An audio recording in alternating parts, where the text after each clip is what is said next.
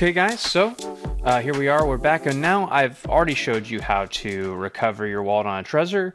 Now let's learn again how to get behind those funds uh, that is behind our passphrase.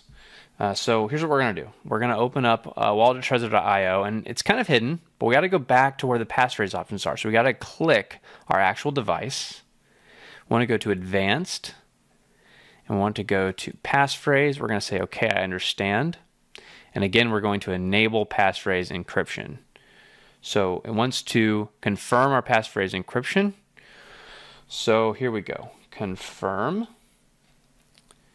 It's going to ask us to disconnect our Trezor. We're going to reconnect it. We're going to enter one, three, five, seven, and 9. We're going to enter the PIN. And now it's asking us for our passphrase. So we're going to enter that passphrase. And if you remember, it's just P A or it's S A F E actually on this one. And let's just make sure we've got it right. Safe. Okay. Enter.